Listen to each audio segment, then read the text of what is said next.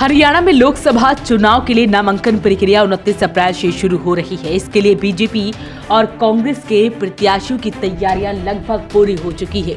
गुरुग्राम से भाजपा के उम्मीदवार राव इंद्रजीत अकेले ऐसे उम्मीदवार हैं जो 29 अप्रैल को नामांकन पत्र भरेंगे। हरियाणा भाजपा के प्रभारी विप्लव देव नामांकन के समय उनके साथ मौजूद रहेंगे। वहीं सीएम नायब सिंह सैनी एक मई को अंबाला से कैंडिडेट बंतो कटारिया का नामांकन करवाएँगे, जबकि दो मई को भाजपा प्रभारी विप्लव देव, भिवानी महेंद्रगढ़ के उम्मीदवार चौधरी धर्मवीर सिंह का नामांकन दाखिल करने के दौरान उनके साथ रहेंगे।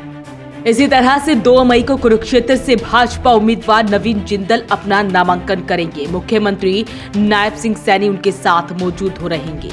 इसी दिन हिसार के उम्मीदवार चौधरी रणजीत सिंह चौटाला अपना नामांकन दाखिल करेंगे। पूर्व मुख्यमंत्री मनोहर लाल उनके साथ होंगे। तीन मई को सोनीपत के उम्मीदवार मोहनलाल बड़ोली रोहतक के उम्मीदवार डॉक्टर अरविंद शर्मा नामांकन पत्र भरेंगे। मोहनलाल और डॉक्टर अरविंद शर्मा के साथ मुख्यमंत्री नायब सिंह सैनी मौजूद रहेंगे। चार मई को सिरसा के उम्मीदवार डॉक्टर अशोक तंवर का नामांकन विप्लव देव करवाएँगे, जबकि पाँच मई को कोई भी नामांकन नहीं होगा। इसी तरह से छह मई को फरीदाबाद के भाजपा उम्मीदवार कृष्ण पाल गुज्जर का नामांकन विप्लव देव कराने जाएँगे। करनाल के भाजपा उम्मीदवार एवं पूर्व सीएम मनोहर लाल लोकसभा सीट के लिए तथा करनाल विधानसभा सीट के लिए मुख्यमंत्री नायब सिंह सैनी अपने अपने नामांकन पत्र दाखिल करेंगे। वहीं हरियाणा कांग्रेस के मीडिया विभाग के प्रमुख चांदवीर हुड्डा ने बताया कि एक मई को सोनीपत के उम्मीदवार सतपाल ब्रह्मचारी और करनाल के उम्मीदवार दिव्यांशु बुद्धि राजा अपने अपने नामांकन पत्र दाखिल करेंगे। दो मई को अंबाला के उम्मीदवार चौधरी वरुण मुलाना नामांकन करेंगे।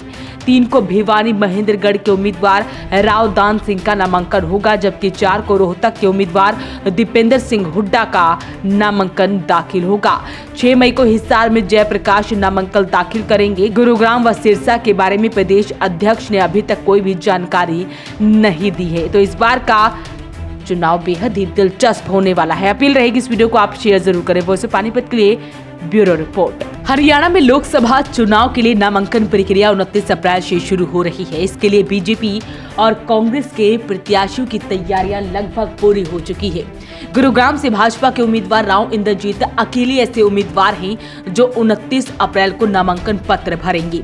हरियाणा भाजपा के प्रभारी विप्लव देव नामांकन के समय उनके साथ मौजूद रहेंगे।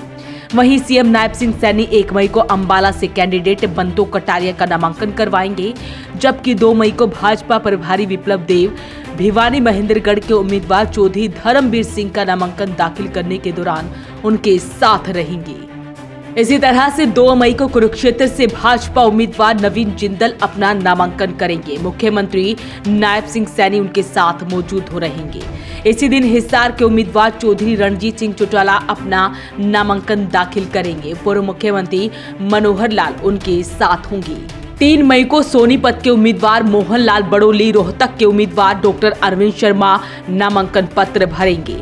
मोहनलाल और डॉक्टर अरविंद शर्मा के साथ मुख्यमंत्री नायब सिंह सैनी मौजूद रहेंगे। चार मई को सिरसा के उम्मीदवार डॉक्टर अशोक तंवर का नामांकन विप्लव देव करवाएँगे, जबकि पाँच मई को कोई भी नामांकन नहीं होगा। इसी तरह से छह मई को फरीदाबाद के भाजपा उम्मीदवार कृष्ण पाल गुज्जर का नामांकन विप्लव देव कराने जाएँगे। करनाल के भाजपा उम्मीदवार एवं पूर्व सीएम मनोहर लाल लोकसभा सीट के लिए तथा करनाल विधानसभा सीट के लिए मुख्यमंत्री नायब सिंह सैनी अपने अपने नामांकन पत्र दाखिल करेंगे। वहीं हरियाणा कांग्रेस के मीडिया विभाग के प्रमुख चांदवीर हुड्डा ने बताया कि एक मई को सोनीपत के उम्मीदवार सतपाल ब्रह्मचारी और करनाल के उम्मीदवार दिव्यांशु बुद्धि राजा अपने अपने नामांकन पत्र दाखिल करेंगे।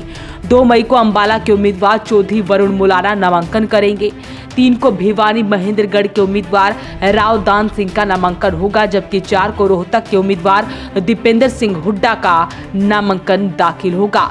छह मई को हिसार में जयप्रकाश नामांकन दाखिल करेंगे। गुरुग्राम व सिरसा के बारे में प्रदेश अध्यक्ष ने अभी तक कोई भी जानकारी नहीं दी है। तो इस बार का चुनाव बेहद ही दिलचस्प होने वाला है। अपील रहेगी इस वीडियो को आप शेयर ज़रूर करें। वो पानीपत के लिए ब्यूरो रिपोर्ट